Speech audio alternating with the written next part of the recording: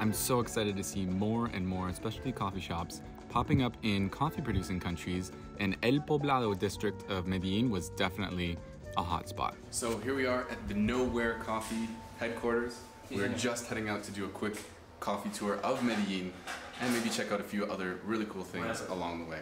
Juan is the man behind the scenes here at Know Where Coffee. I'll explain a little bit more later. Let's go check out Medellin's specialty coffee scene.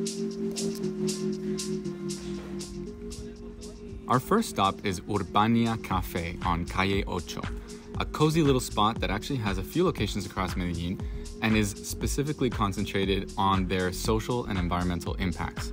For example, we ordered a few tasty pour overs, one which supports the conservation of local jaguars, and another called Peace or Paz, which supports victims of armed conflict. I really enjoyed the vibe here, and before we got hit by the next showers, we jumped in the car to our second stop of the tour. Café Velvet. Café con acento belga. Coffee with a Belgian accent.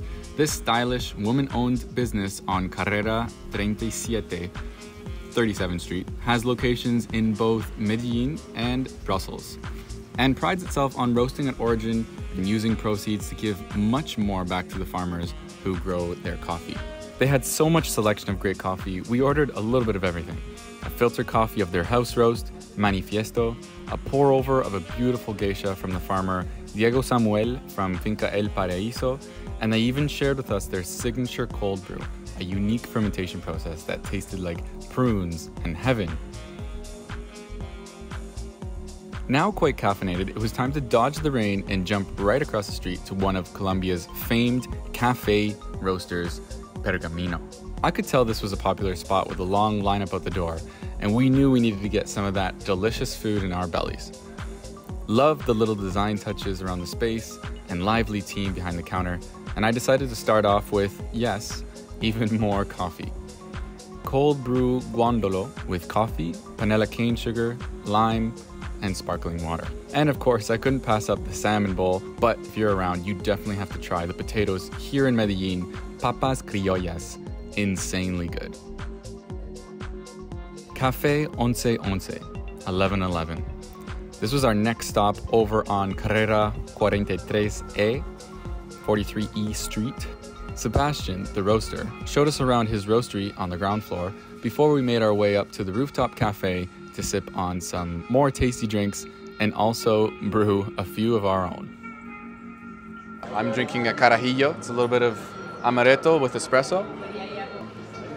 Kind of an off menu item, but we're gonna be drinking. What is this coffee that we're we're about to drink here This on the coffee Chemex? is- There's gonna be a wash coffee.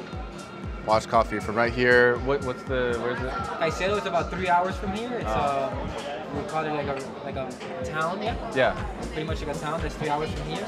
Um, in Occidente. nice. Super local coffee. We make it ourselves here at Once Once 1111. It's a really good time to drink coffee. It's a really lucky time of the day, so check it out. So one neighborhood I was told I couldn't pass up during my stay in Medellin was called Comuna 13. It's a bit across town, but they have a budding coffee scene here too, so we decided to hitch a ride and scale the rest by foot. Since Medellin is at 1,400, 1,500 meters above sea level, probably a little bit higher than that now. So climbing anything takes a lot more energy.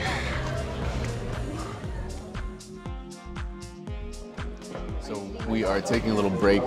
Well, it's a part of our coffee tour here because this is the Museum of Coffee here in the neighborhood of Comuna 13. Now this, we're doing a quick tour. It's very interesting, very beautiful. Long escalators, long inclinations, and uh, I'll tell you more about that later. But this is a local coffee that she prepared for us, uh, Manuela, in, uh, in a French press. Mm. Very good very solid, very sweet. A lot of the Colombian coffee here is, is nice and sweet, sort of uh, chocolatey, caramelizado.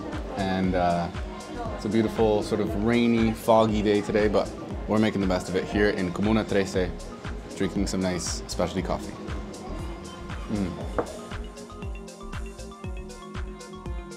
So now the rain is quite picking up. We're walking along.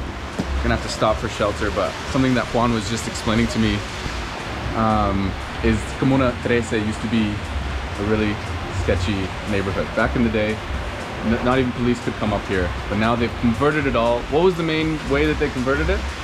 They made it like a tourist, basically almost like a tourist attraction showcasing the change. Yeah.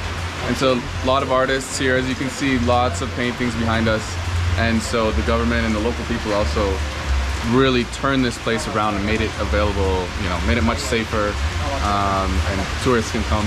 A lot rainier today, but we're gonna go find some cool murals and check it out. We've already had a lot of coffee, so.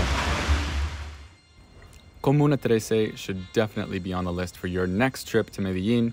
And if you like this tour, comment your favorite cafe. Let me know which one you loved. Hit like and don't forget to subscribe for more Colombia coffee content coming down the chute real soon. I look forward to seeing you in the next video.